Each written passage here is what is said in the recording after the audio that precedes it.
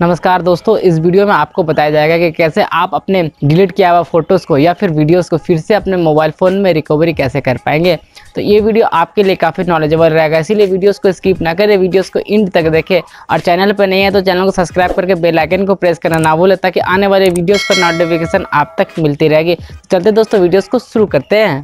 तो दोस्तों, हम अपने मोबाइल स्क्रीन पे आ चुके हैं। सबसे पहले इस ऐप को आप इंस्टॉल कर लेंगे प्ले स्टोर से, या फिर मैं इसका लिंक डिस्क्रिप्शन में दे दूँगा, आप वहाँ से भी डायरेक्टली इसको इंस्टॉल कर पाएँगे। तो चलते दोस्तों, इस ऐप को ओपन कर लेंगे। उसके बाद दोस्तों, यहाँ पे आपको दो ऑप्शन देखने को मिलेगा। पहला स्टार्ट फ्री ट्रायल दूसरा, और ट्रायल लिमिटेड वर्जन दोस्तों, हम क्लिक करेंगे और ट्रायल लिमिटेड वर्जन दोस्तों, इसके बाद आपको क्लिक करने के बाद जब आप दोस्तों और ट्रायल लिमिटेड वर्जन में क्लिक करेंगे तो आपको यहाँ पे कुछ परमिशन मांगा जाएगा। फिर आप दोस्तों अलाव में क्लिक कर देंगे। क्लिक करने के बाद दोस्तों आपके सामने कुछ इस तरह का पेज ओपन हो जाएगा। उसके बाद दोस्तों आपको दिखाएँगे कि कैसे कोई भी फ़ोटोज़ को डिलीट हो जाता है तो फिर से वो फ़ोटो यहाँ पे आ जाता है। तो सबसे पहले दोस्तों कोई फ़ोटोज़ को हम आपके सामने डिलीट कर देते हैं। तो दोस्तों जैसे कि देख रहे इस फ़ोटोज़ को हम अपने गैलरी से डिलीट कर देते हैं, ठीक है?